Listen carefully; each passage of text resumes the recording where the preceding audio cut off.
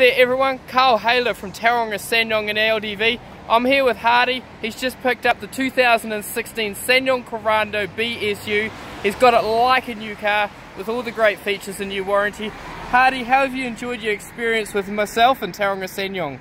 Excellent. Ah, I got good service, all the information I need, and I'm really happy with the buy.